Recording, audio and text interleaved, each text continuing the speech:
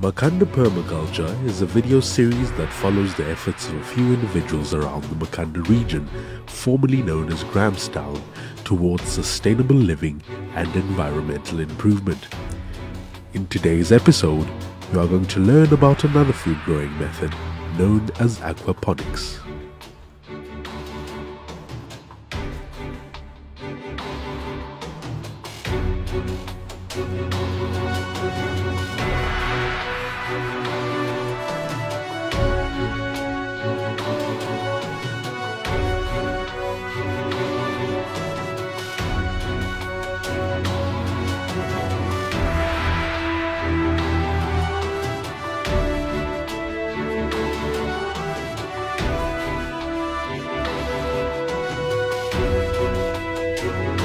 Thing in permaculture, we work on systems.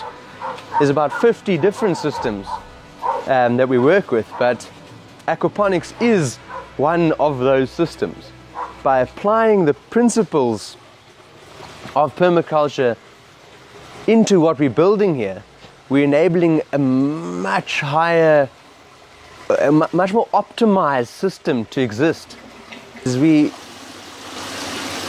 we learned a little, tried a little, and we worked on a very small system. And all of a sudden, we decided that, you know, this is something that can be done. Um, and so we stepped it up a notch. Instead, we, we, we stepped it up a couple of notches. Um, but this is really where the magic happens. Yeah, these, these are all the fish tanks here. Um, there's different sizes of fish. Um, we, we, we farm with a, a fish called uh, the, the tilapia, uh, Mozambican tilapia. tilapia um, because their tolerance towards temperature fluctuations is quite high. A lot of fish require a very set temperature, otherwise they, they go under stress. What fish do by virtue of their own existence is they require food and they require um, oxygen. And when you provide fish with oxygen and food, what they do is um, obviously they eat and, and they, they excrete their, their waste. Um, and their waste um, becomes the food for our big system. And, and so what happens is that, that little pump in here then takes all of the excrement from the different fish tanks, because they all link up and they all fall down in here.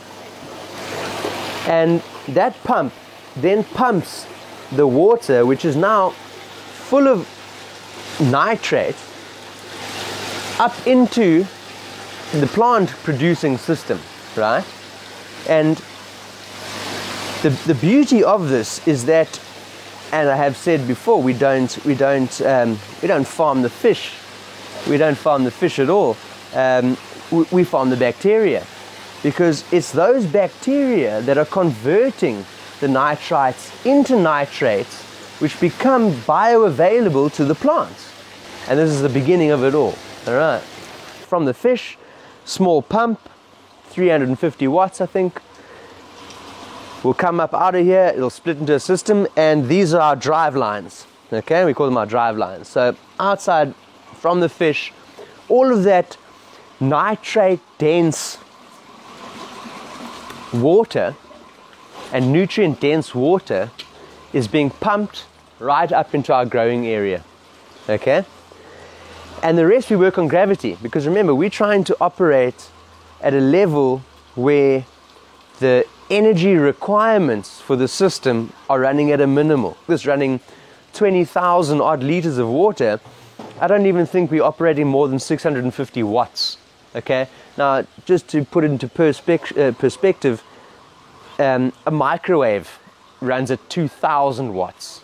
Okay? Yes, you don't operate a microwave all day, every day, but you know, you got to understand this. The 300 to 600 watts is very, very, very little. Okay, um, considering what's occurring. So that pump pumps out the water um, and flows up our drive lines here, um, and it gets right the way to the top here. And I think we should have a little look at where where it all starts off, because um, it'll make a lot more sense.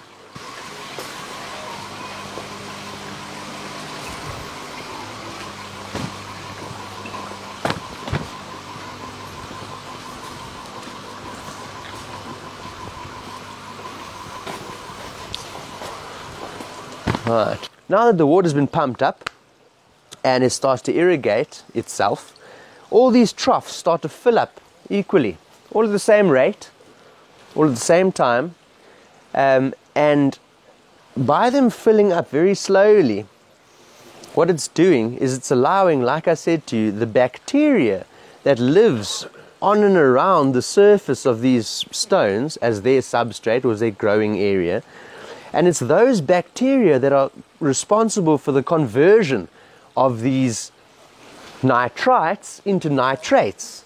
And the nitrates are those, the nitrogen and hydrogen charged ions that are available, bioavailable to all the plants in different volumes.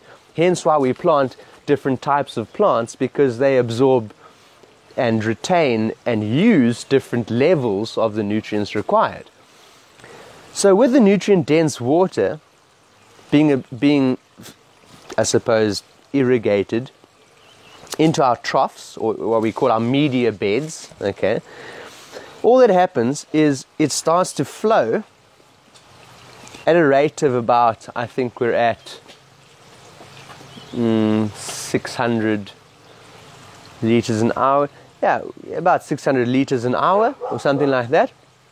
And what happens is is quite quite fun, and this is this is where it really gets quite fun, um, because what we've developed is is is a concept of what they call bell siphons. Okay, now bell siphon is quite simply something that looks like this.